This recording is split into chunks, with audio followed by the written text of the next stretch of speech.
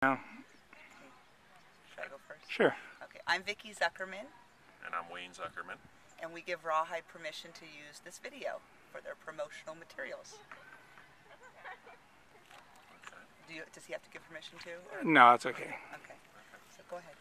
Um, the camp is absolutely wonderful. Our kids have been coming here for almost, let's see, 10 years. Um, we started by my oldest daughter coming here from uh, Y Princesses, and that's how we found out about it, or actually was it Girl Scouts, I think, on a weekend, and they loved it so much. And my oldest daughter, Kayla, um, has been coming for the last It's actually six years. This would have been seven. seven years. Yeah, Seven. they absolutely love it. They look forward to it every year. They count down the days, and they've met a lot of neat people here, from the staff to uh, friends that they've made and contacts that they've kept up. And it's just a real good bonding week for them, and uh, it's just a wonderful experience.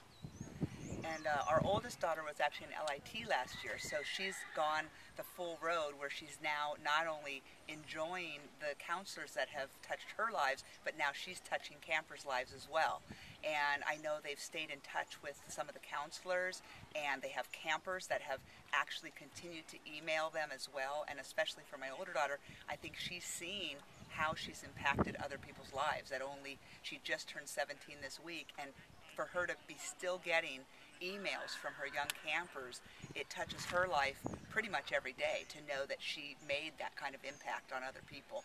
And we have a little surprise, and so Carly, she just turned five, so she can't wait till she turns seven, so she can be at Rawhide too.